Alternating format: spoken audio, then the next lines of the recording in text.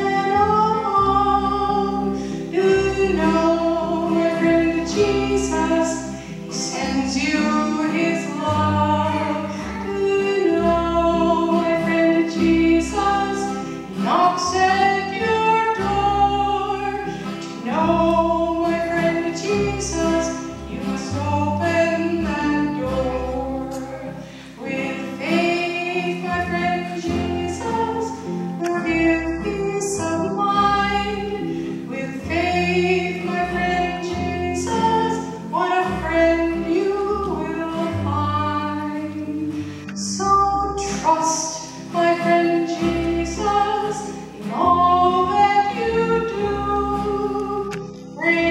singing.